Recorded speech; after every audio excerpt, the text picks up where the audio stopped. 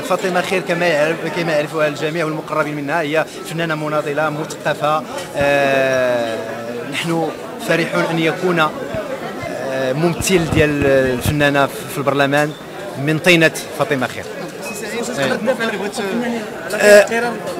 آه شوف أكيد أن فاطمة خير ستدافع عن حقوق الفنانين ستدافع عن سن قوانين في صالح الفن والفنون في المغرب أكيد أنه بمعرفتي لها وبنضالها وبثقافتها ممكن إلا أن تضيف إضافة نوعية جادة في المسار آه، السياسي في المغرب سعيد يعني واحد النقطة اللي آه. الكل تكلم عليها في ال réseaux sociaux قبل آه. الإعلان عن نتائج الانتخابات هو كان المس يعني بالفنانين بحكم مشاركتهم في بعض البرامج الحملات الحزب ديال التجمع الوطني الأحرار يعني بكل صراحة آه نذكروا بالاسم المسألة اللي هي واضحة كان انتقاد من طرف يعني الكيران وكان رد مع سعيد النصيري شنو التعليق ديالكم؟ على هذا الشيء؟ أنا رديت ديك في آنها.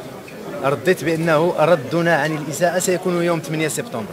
لماذا؟ لأنه أنا كنت في الحملة كنت كندير الحملة مع الحزب في في في, في سيدي يحيى الغرب.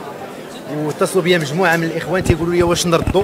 قلنا لهم ما يمكنش نردوا لأنه يجرنا إلى الحضيض في نقاشاتنا. إحنا يجب أن نرقى. انتهى ذلك المغرب اللي ممكن أن نبداو نهضروا فيه عن فراغ وعن جهل. خصنا نرقاو بالخطاب السياسي. فكان الجواب ديالي أننا غنجاوبوه في 8 سبتمبر.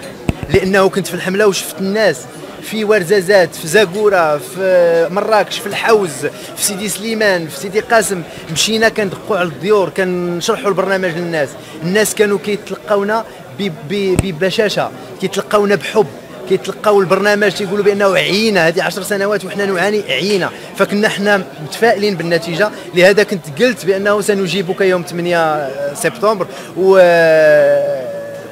المغربي ما خذلناش وأجابه جوابا شافيا. وشنو الجواب الجواب ديالي أنه ما لا يمكن أن أجيب جاهلا. لأن يكفي يكفي أنه نحن فنانة ما جيناش لهذا الحزب الكبسولات اللي درنا ماشي لأنه الحزب عيط لنا باش نديروا الكبسولات هذا اقتراح من فيدرالية الوطنية للفنانين التجمعيين التي أرأسها أنا. يعني جينا وعطينا مقترح للإخوان في الحزب قلنا لهم راه غادي نديروا غادي نديروا مجموعة من الكبسولات باش تشرح الناس كيفاش يصوتوا باش تشرح الناس البرنامج. وقمنا بهم ما عطانا حتى شي حد شي حاجة. إلا كان هو كيعطي لشي حد شي حاجة يتحمل مسؤوليته وكل إناء بما فيه يرشح.